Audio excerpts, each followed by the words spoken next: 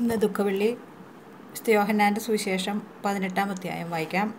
യേശുവിനെ ബന്ധിക്കുന്നു. ഇത് പറഞ്ഞ ശേഷം യേശു ശിഷ്യന്മാരോടുകൂടി കെദ്രോൺ അരുവിയുടെ അരികെ അക്കരെ എത്തി അവിടെ ഒരു തോട്ടം ഉണ്ടായിരുന്നു. അവനും ശിഷ്യന്മാരും അതിൽ പ്രവേശിച്ചു. അവനെ ഒറ്റിക്കൊടുത്ത യൂദാസിനും ആ സ്ഥലം അറിയാമായിരുന്നു. കാരണം യേശു പലപ്പോഴും ശിഷ്യന്മാരുടെ കൂടെ അവിടെ സമ്മേളിക്കാറുണ്ടായിരുന്നു. യൂദാസ് ഒരു ഗണം പടയാളികളെയും പുരോഹിത പ്രമുഖന്മാരുടെയും ഫരിസയരുടെയും അടുക്കൽ നിന്ന് സേവകരെയും കൂട്ടി പന്തങ്ങളും വിളക്കുകളും ആയുധങ്ങളുമായി അവിടെ എത്തി. തനിക്ക് സംഭവിക്കാനിരിക്കുന്നതെല്ലാം അറിഞ്ഞിരുന്ന യേശു മുന്നോട്ട് വന്ന് അവനോട് ചോദിച്ചു നിങ്ങൾ ആരെയാണ് അന്വേഷിക്കുന്നത്? അവൻ അവർ പറഞ്ഞു നസറായന യേശുവിനെ. യേശു പറഞ്ഞു അത് ഞാനാണ്. അവനെ ഒറ്റിക്കൊടുത്ത യൂദാസും അവരോടുകൂടെ ഉണ്ടായിരുന്നു. ഞാനാണ് എന്ന് അവൻ പറഞ്ഞപ്പോൾ അവർ പിൻവലിയുകയും നിലംപതിക്കുകയും ചെയ്തു. അവൻ അവർ വീണ്ടും ചോദിച്ചു നിങ്ങൾ ആരെ അന്വേഷിക്കുന്നു? അവർ പറഞ്ഞു നസ്രായനായ യേശുവിനെ. യേശു പ്രതിവചിച്ചു ഞാനാണ്. എന്ന് നിങ്ങളോട് പറഞ്ഞുവല്ലോ. നിങ്ങൾ എന്നെയാണ് അന്വേഷിക്കുന്നതെങ്കിൽ ഇവർ പോയിക്കൊള്ളട്ടെ. നീ എനിക്ക് തന്നവരിൽ ആരെയും ഞാൻ നഷ്ടപ്പെടുത്തിയില്ല എന്ന് അവൻ പറഞ്ഞ വചനം പൂർത്തിയാകാൻ വേണ്ടിയായിരുന്നു ഇത്.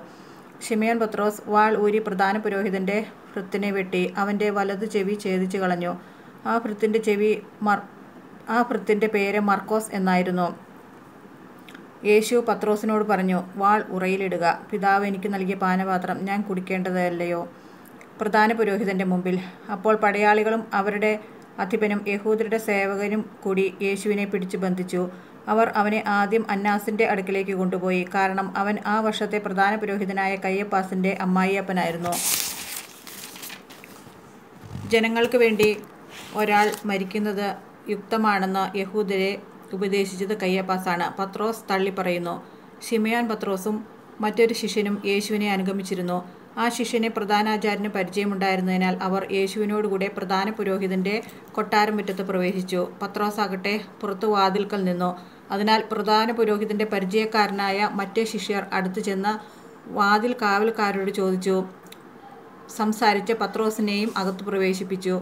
അപ്പോൾ ആ ഒരു പരിചാരിക പത്രോസിനോട് ചോദിച്ചു നീയും ഈ മനുഷ്യന്റെ ശിഷ്യന്മാരിലൊരുവനല്ലേ? അല്ല എന്ന് അവൻ പറഞ്ഞു.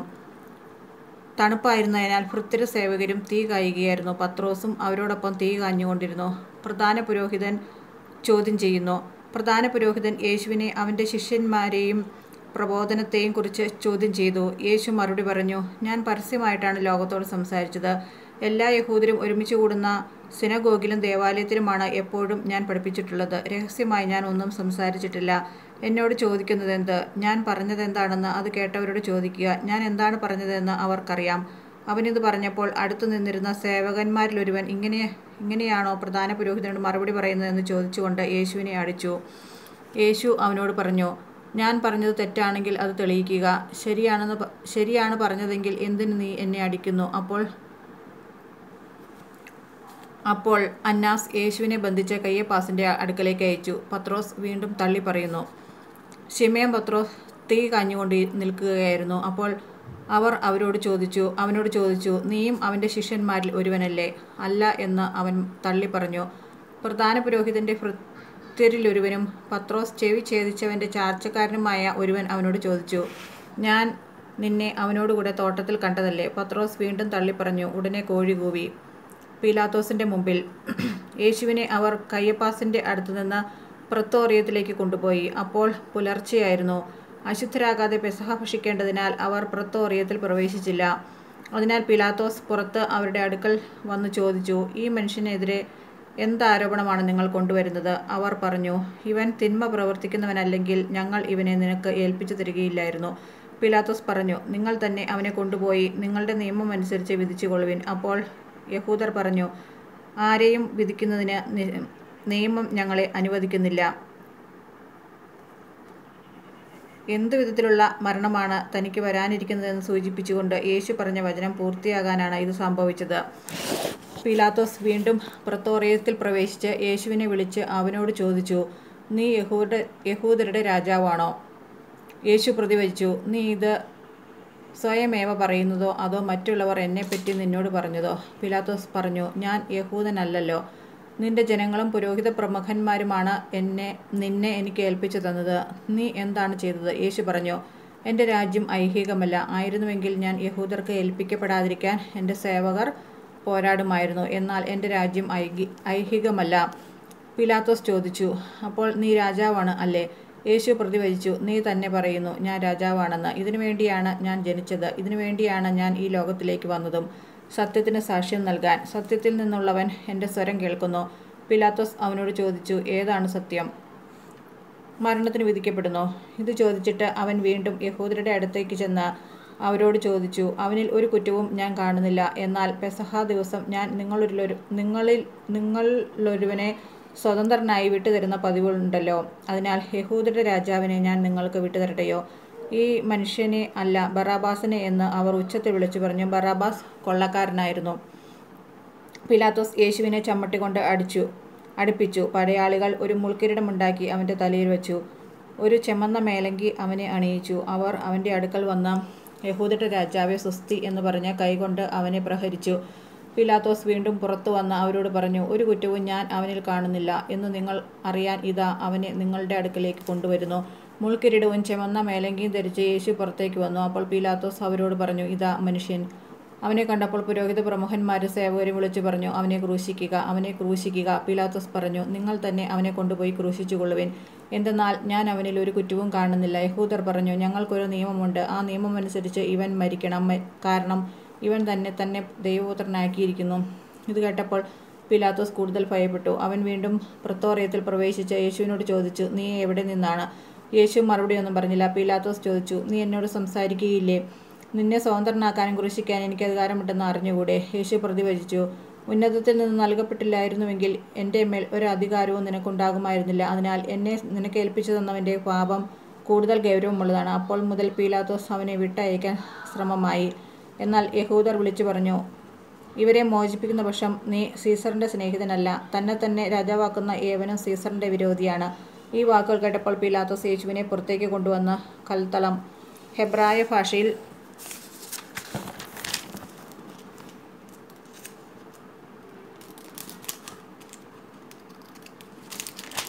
ഗബ്ബാത്ത എന്ന് വിളിക്കപ്പെടുന്ന സ്ഥലത്ത് ന്യായാസനത്തിൽ ഇരുന്നു.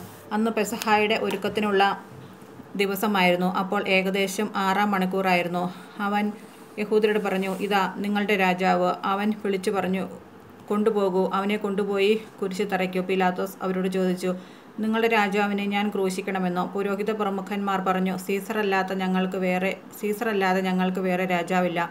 അപ്പോൾ അവൻ യേശുവിനെ ക്രൂശിക്കാനായി അവർക്ക് വിട്ടുകൊടുത്തു. അവർ യേശുവിനെ ഏറ്റുവാങ്ങി അവൻ സ്വയം കുരിശും ചുമന്നുകൊണ്ട് തലയോടിടം ഹെബ്രായ ഭാഷയിൽ ഗൊൽഗോത്ത എന്ന് വിളിക്കപ്പെടുന്ന സ്ഥലത്തേക്ക് പോയി. അവിടെ അവർ അവനെ ക്രൂശിച്ചു. അവനോടൊപ്പം മറ്റു രണ്ടുപേരെയും യേശുവിനെ മധ്യത്തിലും അവരെ ഇരുവശങ്ങളിലായും പിലാത്തോസ് ഒരു ശീർഷകം എഴുതി കുരിശിലിന്റെ മുകളിൽ വച്ചു. അത് ഇങ്ങനെയായിരുന്നു. നസ്രായനായ യേശു യഹൂദരുടെ രാജാവ് യേശുവിനെ ക്രൂശിച്ച സ്ഥലം പട്ടണത്തിന് സമീപമായിരുന്നതിനാൽ യഹൂദരിൽ പലരും ആ ശീർഷകം വായിച്ചു. അത് ഹെബ്രായിയിലും ലത്തീനിലും ഗ്രീക്കിലും എഴുതപ്പെട്ടിരുന്നു. യഹൂദരുടെ പുരോഹിത പ്രമുഖന്മാർ പിലാത്തോസിനോട് പറഞ്ഞു യഹൂദരുടെ രാജാവ് എന്നല്ല യഹൂദരുടെ രാജാവ് ഞാനാണ് എന്ന് അവൻ പറഞ്ഞു എന്നാണ് എഴുതേണ്ടത്. പിലാത്തോസ് പറഞ്ഞു ഞാൻ എഴുതിയത് എഴുതി. പടയാളികൾ യേശുവിനെ ക്രൂശിച്ചതിന് ശേഷം അവന്റെ വസ്ത്രങ്ങൾ നാലായി ഭാഗിച്ചു. ഓരോ പടയാളിക്കും ഓരോ ഭാഗം. അവന്റെ അങ്കിയും അവർ എടുത്തു. അതാകട്ടെ തുന്നലില്ലാതെ മുകൾ മുതൽ അടിവരെ നെയ്തുണ്ടാക്കിയതായിരുന്നു. ആകിയാൽ അവർ പരസ്പരം പറഞ്ഞു നമുക്കത് കീറണ്ട പകരം അത് ആരുടേതായിരിക്കണമെന്ന് കുറിയിട്ട് തീരുമാനിക്കാം. എന്റെ വസ്ത്രങ്ങൾ അവർ ഭാഗിച്ചെടുത്തു എന്റെ അങ്കിക്ക് വേണ്ടി അവർ കുറിയിട്ടു എന്ന നിത്യ എന്ന തിരുവെഴുത്ത് പൂർത്തിയാകാൻ വേണ്ടിയാണ് പടയാളികൾ പടയാളികൾ ഇപ്രകാരം ചെയ്തത്.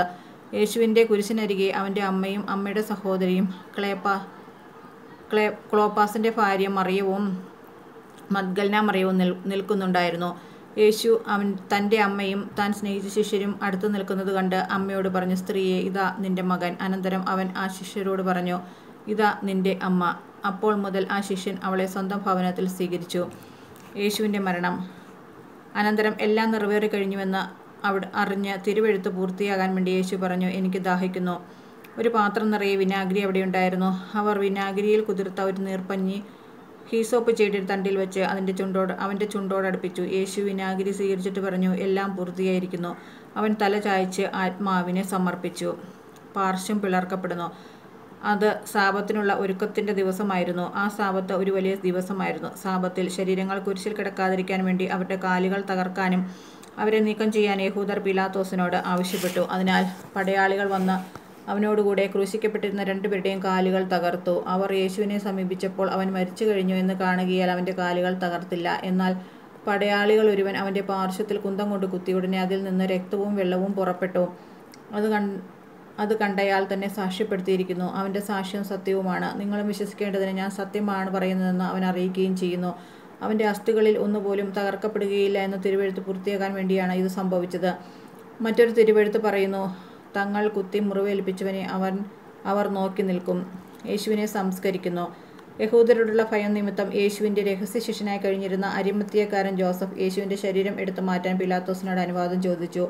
പിലാത്തോസ് അനുവാദം നൽകി. അവൻ വന്ന ശരീരം എടുത്തു മാറ്റി. യേശുവിനെ ആദ്യം രാത്രിയിൽ ചെന്ന് കണ്ട നിക്കോദമോസും അവിടെ എത്തി. മീറയും ചെന്നിനായകവും ചേർന്ന് ഏകദേശം നൂറ് റാത്തൽ സുഗന്ധദ്രവ്യവും അവർ കൊണ്ടുവന്നിട്ടുണ്ടായിരുന്നു. അവർ യേശുവിന്റെ ശരീരമെടുത്ത് യഹൂദരുടെ ശവസംസ്കാര ശവസംസ്കാരീതി അനുസരിച്ച് സുഗന്ധദ്രവ്യങ്ങളോടുകൂടെ കച്ചിയിൽ പൊതിഞ്ഞു. അവൻ ക്രൂശിക്കപ്പെട്ട സ്ഥലത്ത് ഒരു തോട്ടമുണ്ടായിരുന്നു. ആ തോട്ടത്തിൽ ഇതുവരെ ആരെയും സംസ്കരിച്ചിട്ടില്ലാത്ത ഒരു പുതിയ കല്ലറയും ഉണ്ടായിരുന്നു. യഹൂദരുടെ ഒരുക്കത്തിന്റെ ദിനമായിരുന്നതിനാലും കല്ലറ സമീപത്തായിരുന്നതിനാലും അവർ യേശുവിനെ അവിടെ സംസ്കരിച്ചു.